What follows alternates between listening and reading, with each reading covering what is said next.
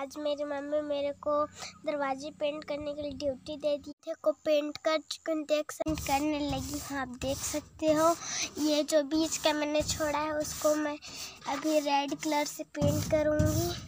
तो चलिए मैं अभी पेंट कर लेती हूँ, फिर बाद में अब मैं इसके हैंडल को पेंट कर रही हूँ, आप देख सकते हो। इसके लिए ना मुझे ना मेरी मम्मी पाँच रुपए देने वाली है।